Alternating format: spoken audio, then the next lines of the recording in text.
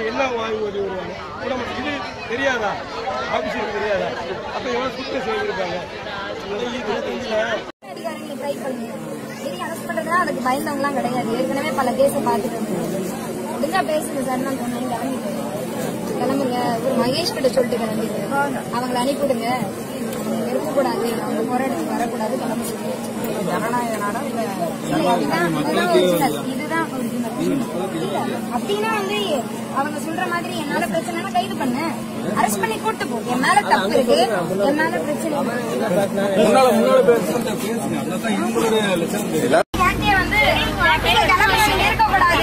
எந்த அதிகாரத்தை என்ன அதிகாரத்தை அவங்க செலுத்துவாங்க? என்ன தப்பு பண்றோம் நம்ம எல்லாருமே போராட்டம். எங்களோட வாழ்வு எங்க பிள்ளைங்க நல்லா இருக்கு நம்ம போராட்டத்துக்கு வந்திருக்கோம் ஆனா நீங்க இருக்கக்கூடாது கிளம்புங்க இனியும் உங்க மேல அதிகாரத்தை செலுத்தினா என்ன பண்ணீங்க கைது பண்றதா பண்ணிக்கங்க நாங்க பல கேஸெல்லாம் பார்த்துட்டு தான் வந்திருக்கோம் முடிஞ்சா அரெஸ்ட் பண்ணு நாங்க என்ன தப்பு பண்ணிருக்கோம் நான் கேட்டேன் இந்த ஊருக்குள்ள இருக்கக்கூடாதுன்னா நீ என்ன நூத்தி நாற்பத்தி நாலு தடை உத்தரவு போட்டிருக்கியா தடை உத்தரவு போட்டாதான் ஊருக்குள்ள இருக்கக்கூடாது அப்படிதான் போட்டிருக்கீங்க போட்டிருந்தீங்கன்னா சொல்லுங்க நான் இருக்க மாட்டேன் அப்படி இருக்கப்போ நான் என்ன பண்ணணும் எந்த மக்களை பார்க்கணும் எந்த போராட்டத்துக்கு வரணும் எங்களுக்கு தெரியும்.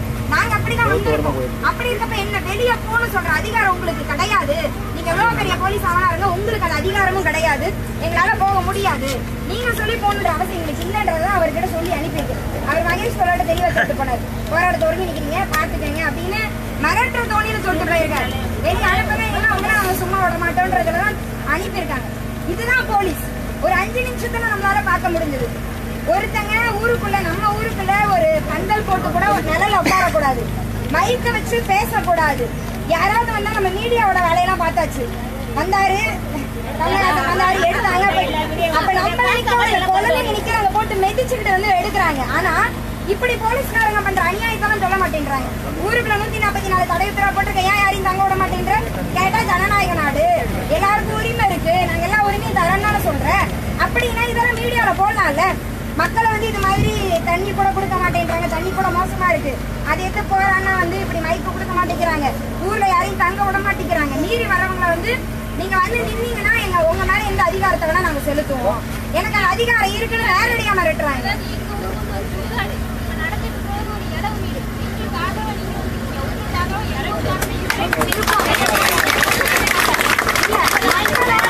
எனக்கு தெரியும் மக்கள் கண்டிப்பா எங்க கூட என்னைக்குமே மக்கள் இருப்பாங்கன்ற ஒரு நம்பிக்கையில தான் நாங்களும் வந்திருக்கோம். நான் இருக்கிறது, நான் இருக்கிறது, நான் முடிவு பண்றது நானு.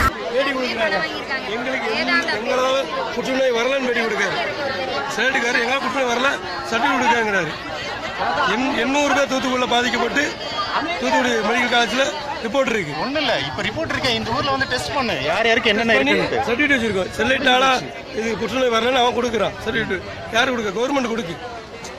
எல்லா நோயும் reach ஆகுது. மெடிக்கல் அனுப்பு நீனு. எல்லா நோயும் ரீச் ஆகும்போது மெடிக்கல் டிவிஷன் அனுப்பி இந்த ஊரை செக் பண்ண சொல்லி யார் யாருக்கு என்ன பண்ணி இல்லையா அவனுக்கு வச்சிருக்கு. எங்களால ஒளிச்சனால புற்றுநோய் வரலன்னு சொல்லி சர்டிஃபிகேட் செல்லுக்கிற வச்சு யார் கொடுக்கு கவர்மெண்ட் தான் கொடுக்கு நீங்க துட்டு வாங்கி செயல்படுறீங்க நீங்க இப்படி பண்ணக்கூடாதுல்ல எல்லாமே தவறாக தான்